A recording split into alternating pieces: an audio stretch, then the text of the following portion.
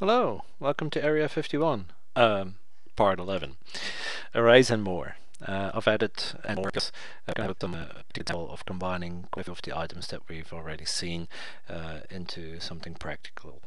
Um, just a few lines of code to make something work just the way we want it and to just have a look at that, how powerful automation can really be. But let's get started with arrays.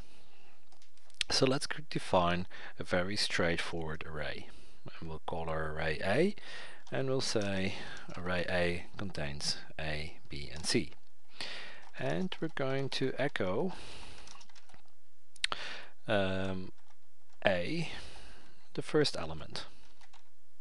Okay very straightforward. Second element the third element. What happens if we specify an element that doesn't exist? It doesn't work.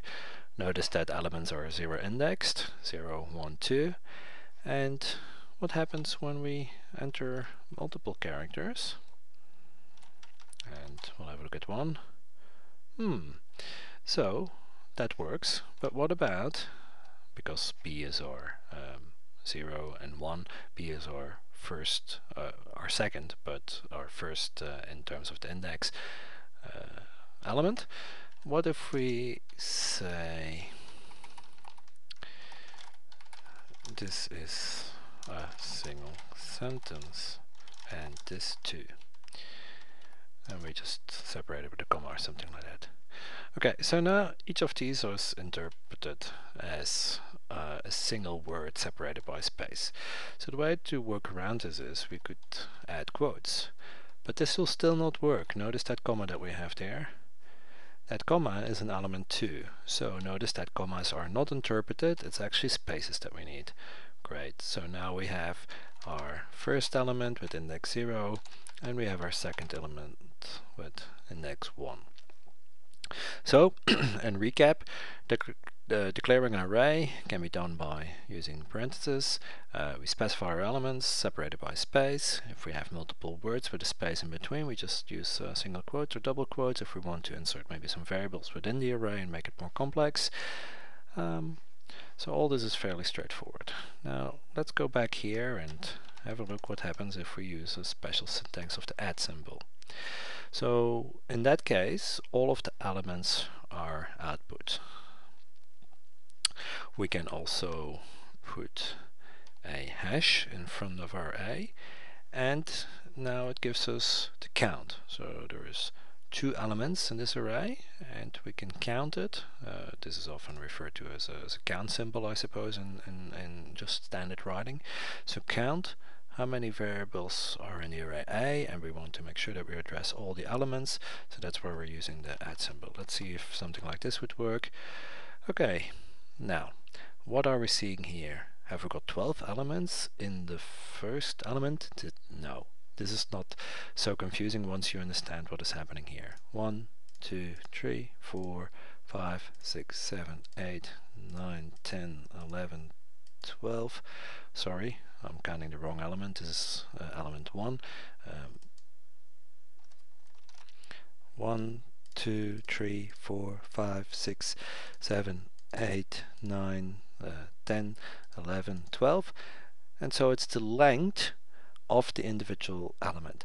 So let's not confuse the number of elements in the full array, 2, 1 and 2, with the length in terms of characters of element 1, 12. And if we check uh, element 0, which was the one I was counting originally, of course there's 25, there's quite a few more. Um, we can also use the declare uh, syntax to uh, declare array more formally. Um, let's output element uh, B2, which would be C, because we're looking at the second element. And that works fine. Um, something very interesting to notice here is we do want to put the curly brackets here and not here. You can see how that completely messed up what we were trying to do because in this case uh, it's interpreting the variable b um, and then to whatever that stands for in this case it's just standard output so uh, probably because we address the variable b here, which starts with a, that's why it outputs a, and then 2 is the literal text 2. So this can become very confusing. Even if you do it like this, it still interprets it like this. So don't forget those curly brackets around the full array combined with its index. Straightforward. Okay, so that gives a, a short rundown of arrays. Um, you can review the examples. Uh, so as a quick recap, we've seen how to uh, declare uh, in one of the two formats uh, our arrays. We've seen how we can address uh, individual elements. We've seen how we can uh, address all elements at the same time. And notice also that you can use this in a for loop, which is maybe one uh, item that we haven't uh, uh, looked at here yet.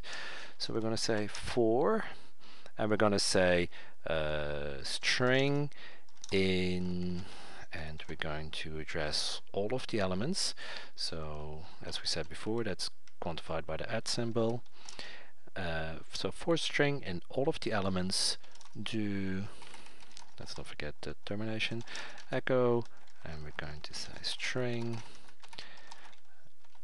and done. So great, uh, two individual strings displayed. So you can see how you can again do very interesting things like, um, how about running a subshell and say, uh, the ls output for example. So very interesting now. Uh, there's our files from the previous parts. Uh, these are just files, so don't get confused by the actual numbers. We can just delete them and rerun. Okay, so there you go. That's the, the items that we've been uh, seeing, uh, all the files that we uh, have in our directory. And for each of those, do list them. Um, so we could have instead, to make it a bit more clear, for file in this, do echo file. And we can even make this shorter for file in. And this is what we saw in the previous section ls and it's exactly the same. So sometimes even complex uh, bash syntax can be easily uh, uh, condensed into something else. Different people use different types of writing code and it's very often when you review codes of others that you think hey this is handy I want to use this in uh, my upcoming scripts um, when I get into the same situation. So let's have a look at uh, a good example of um, using a lot of the things that we've been seeing uh, in, in Unison. First, uh, we'll have a look at uh, lynx command, which is one uh, command that we haven't seen yet, and it's just basically a text-based browser. and we're just going to dump the contents of this URL here. So let's see what uh, happens when we run this. Okay, so there's a lot of output uh, that we've gotten back from uh, this page and you can see it's just basically text output of uh, of all the contents of that particular page. So the first thing we're going to do is we're going to filter out if we see any errors we're going to filter out those errors so we know what this uh, uh, means. We just uh, redirect the standard error output to dev null.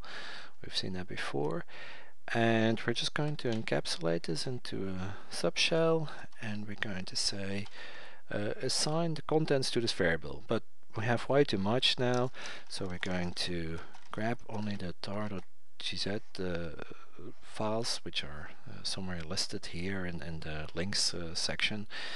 And we're only going to print and you'll remember all of these individual items that we've reviewed we're only going to print a second uh, column and we're going to let's have a look let's have a look first so we're going to run this and you can see how the simple variable assignment is taking some time because it's executing that subshell first before it can uh, uh, give back the output.